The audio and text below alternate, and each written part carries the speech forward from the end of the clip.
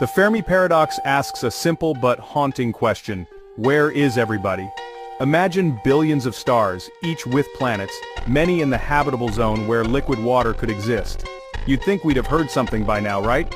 Exoplanet discoveries are skyrocketing, and the Drake equation tries to estimate the number of intelligent civilizations out there. Yet, most of its variables are still a mystery. How many planets develop life? How many of those evolve intelligent beings?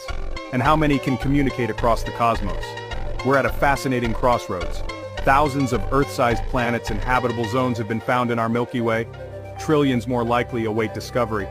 Our technology is advancing rapidly, giving us better eyes and ears to explore the universe. But for now, the silence is deafening.